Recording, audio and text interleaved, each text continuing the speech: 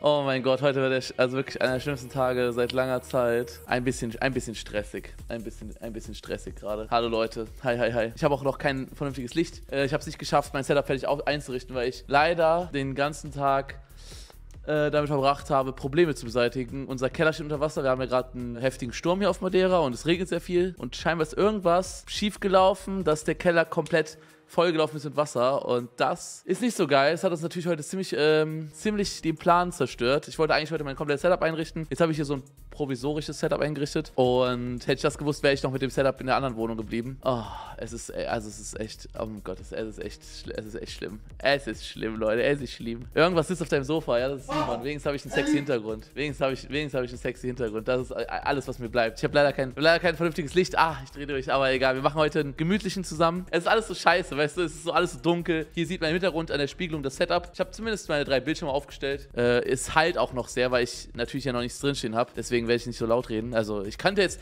ich könnte so laut schreien, wie ich möchte. Hallo! Ich könnte so laut schreien, wie ich möchte, weil wir haben keine Nachbarn mehr. Das ist kein Problem, aber leider halt es noch, weil hier noch nichts eingerichtet ist, ja. Also, erste kurze Erklärung. Ich bin gerade in, ähm, in der Gästewohnung von unserem neuen Haus. Wir haben ein ganzes Haus gekauft und in diesem Haus ist unter anderem meine Mama, meine beiden Schwestern, mein Bruder untergebracht und auch Sabine und ich in einer Wohnung. Und das hier ist unsere Gästewohnung, wo ich gerade drin bin. Weil unsere Wohnung ist noch nicht ganz fertig. Die wird am Montag fertig. Da muss noch mal komplett Grundreinigung durch, okay? Da ist Baustopp und alles noch. So, ich bin jetzt gerade in der Gästewohnung und das Problem ist eigentlich, eigentlich hätte ich heute mir den ganzen Tag Zeit genommen, mein Setup hier einzurichten. Ja, also Licht vernünftig und so. Ihr seht jetzt gerade alles nicht so, nicht so gut ausgeleuchtet und es ist, es ist okay. Ich habe versucht, die Kamera so gut einzustellen wie möglich, dass es auch. Wir haben gerade gar kein Licht hier, außer das Deckenlicht und trotzdem muss ich sagen, dafür finde ich, ist die äh, Kameraqualität in Ordnung. Ähm, ich hätte eigentlich heute den ganzen Tag Zeit gehabt, das äh, Setup einzurichten, aber dann ist Folgendes passiert. Heute ist äh, ziemlich, also gestern und heute hat es schon die ganze Zeit ziemlich viel geregnet. Also es ist ziemlich nass draußen, die ganze Zeit Regen, Regen, Regen. Es ist mit, mit aktuell so ein bisschen Sturm hier und uns ist ein Kellerraum. Das war noch ein Video von heute Mittag, okay? Ich habe es erst vor drei Stunden auf, äh, auf äh, Twitter gepostet, aber es war noch ein Video von heute Mittag. Es ist viel schlimmer geworden. Viel schlimmer. Und zwar hat das meine kleine Schwester gefilmt, da waren wir noch gar nicht da, von heute, äh, heute Mittag. Und man kommt in diesen Keller rein und denkt sich so, okay, alles nass, warum? Und dann ist einfach das hier ist das Belüftungssystem. Also hier drüber äh, wird die Ventilation, also diese Luft äh, nach draußen geblasen, also von Klimaanlagen und so weiter und so fort. Also äh, wie heißt das, was man am, dem Herd hat? Abzughaube und bla bla. Das ist unser Belüftungssystem, okay? In das Belüftungssystem ist Wasser reingelaufen und nicht gerade wenig. Das komplette Rohr ist durchnässt. Also eigentlich es, soll, soll, das trocken sein. Das komplette Rohr ist durchnässt. Hier ist alles nass. Die ganze Wand läuft Wasser runter. Und wenn wir es jetzt nicht gefixt kriegen, dann wird es anfangen zu schimmeln und also müssen wahrscheinlich das komplette Belüftungssystem äh äh, austauschen und wir müssen erstmal finden, wo das Wasser überhaupt ins Haus reinläuft. Ja, ihr hört vielleicht das Tropfen. Es tropft, also es läuft so viel Wasser raus, dass es richtig runter tropft, als würde es gerade eine Dusche laufen. Hört mal genau hin. Und hier ist auch nochmal nass und die ganze Wand sieht man auch schon. Da zieht es auch schon das Wasser, Wasser in die Wand. Also hier, ist, hier sieht man, die Wand sieht trocken aus. Und hier um dieses Rohr drum ist die Wand einfach nass. Das heißt, die komplette Wand dahinter ist nass. Das, dieses Rohr ist hier auch nass. Auf der anderen Seite ist Klitsche nass. Und der Keller ist äh, nass gelaufen. Dann noch unsere Garage, äh, da wo Auto steht und so. Da sind, weil wir haben Elektroauto und da haben wir so Steckdosen in der Wand. Und über den Steckdosen läuft auch Wasser gerade runter. Also unsere komplette Garage äh, und unser Keller steht unter Wasser.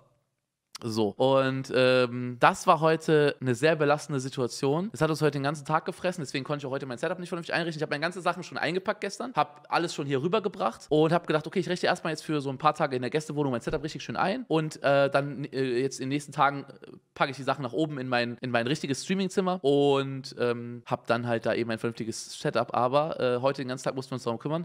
Jetzt kommt das, jetzt kommt das große Problem. Ähm, wir haben eine Firma beauftragt, die den Garten von meiner Mutter neu gemacht hat und so. Also wir haben so Handwerker und so beauftragt, die haben sich um bestimmte Sachen gekümmert. Und derjenige, der das Haus gebaut hat, also der, der, der, der Bauherr vom Haus, die beiden sind jetzt am Streiten, wer dafür verantwortlich ist, denn die eine Seite sagt, ja, das muss schon vorher, äh, also unsere Leute, die wir da hatten, äh, sagen, ja, das muss schon vorher undicht gewesen sein. Es hat noch nicht bis jetzt stark geregnet, seit das Haus ist das Haus sehr neu. Es hat noch nicht stark geregnet, seit das Haus steht, deswegen konnte es auch nie richtig getestet werden oder whatever. Und der Eigentümer sagt, jo, die müssen irgendwas kaputt gemacht haben beim Garten, bei den Gartenarbeiten und deswegen ist da jetzt ein Leck und deswegen läuft es in den Keller rein. Das heißt, ich hoffe jetzt, die, sie kriegen sich geeinigt und fixen das halt schnellstmöglich. Also mo morgen sollen halt so Spezialisten kommen, die sich das alles angucken, so ähm, äh, Leute, die halt da sich mit auskennen mit äh, Wasserschäden und bla. Die gucken sich das alles genau an und die versuchen herauszufinden, wo das Wasser genau ins Haus reinläuft. Das weiß halt gerade keiner. Und das hat halt äh, heute so viel Zeit gefressen, diese ganze Organisation, diesen, diese, also diese beiden Fronten. Und ähm, ja, das alles zu organisieren, ah, es ist einfach, ey, ist wirklich Horror. Horror, das ist so, warum? Warum einen Tag bevor wir, bevor wir umziehen, einen Tag bevor wir umziehen, passiert sowas. Ja, auf jeden Fall, das war heute halt ziemlich, ziemlich äh, scheiße, ne? Das war ziemlich scheiße. Also, äh, Anton ist ja auch gerade auf Madeira, der hat auch heute, äh, die haben heute Stromausfall, also von einer halben Stunde haben die Stromausfall bekommen. Äh, hat vielleicht was mit dem strömenden Regen zu tun. Also, gerade ist auf Madeira wirklich sehr viel, sehr viel Regen und Sturm. Und bei manchen Leuten ist Stromausfall, bei uns ist der Keller vollgelaufen und das ist halt äh, ein bisschen dümmer, ne? War scheiße, sag ich mal. Ich bin einfach sehr gestresst heute. Wirklich, mir geht es also auch nicht ultra gut, weil ihr könnt euch vorstellen, das ist ganz schöne Kopfschmerzerei.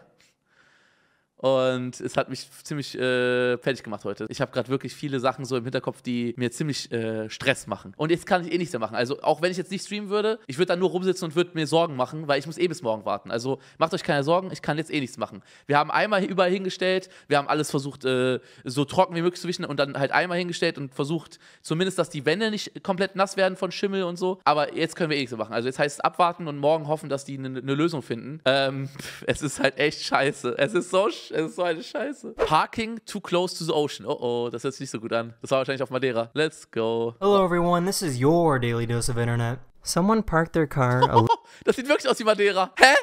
Äh, es sieht wirklich, es könnte wirklich Madeira sein. little too close to the ocean, so when they came back, it was swept away by the waves. Oh shit. Oh shit.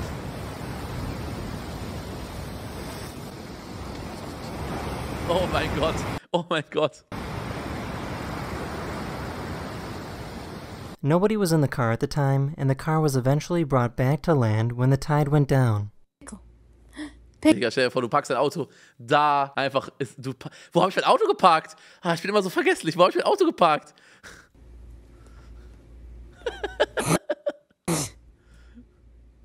This guy is sick, and one of his Ich symptoms dachte gerade ganz kurz, es wäre Bram von Pete's Meat. Ganz kurz, auf den ersten Augenwinkel sah er für mich aus wie Bram von Pete's Meat, jetzt auf dem zweiten Augenwinkel nicht. is that he can't taste anything, so he tried eating an onion, lemon juice, and garlic paste. It's like, so here's an onion. Nothing. Shot- Shot of lemon juice.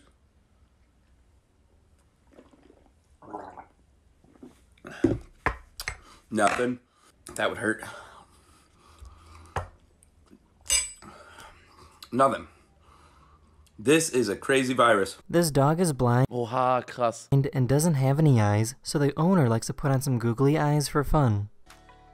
Oh nein, der arme Hund. Oh Gott, das arme Baby. Oh Gott, das arme Baby.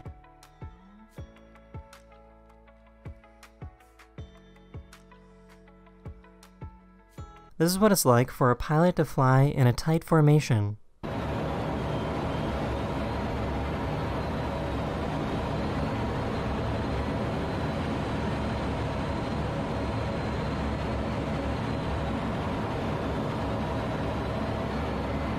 If you take a wet toothbrush and pet a cat with it, it supposedly reminds them of getting cleaned by their mother. Oh, mit der was? Mit der, mit der Zunge. Oh, cool.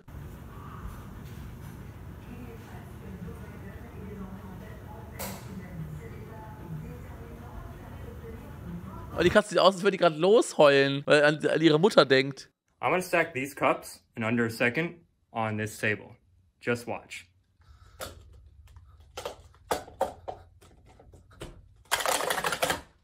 Yeah, there we go, new record. This dog stole a giant brick of das kennen wir schon.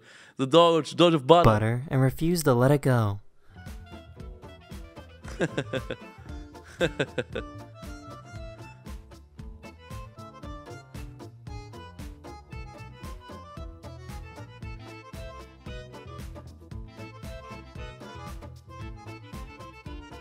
Here's an extreme close up of someone breaking a pencil.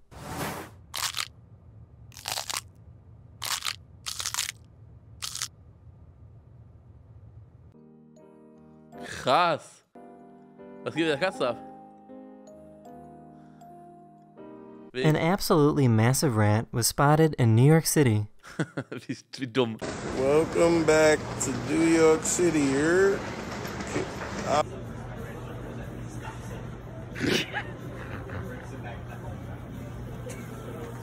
I found this cool plant called a milkweed. When you crunch it up, it releases a giant cloud of puffy seeds. That's the end of this video. Oha. Hopefully I was able to make your day just a little better. Oha. And I'll see you guys again very, very soon. Oha, was hab ich noch nie gesehen, krass. Küsse gehen raus an Delidos. Kuss, Kuss, Kuss, Kuss, Kuss. Wenn euch das Video gefallen hat, dann abonniert, kommentiert und bewertet das Video. Bis zum nächsten Mal.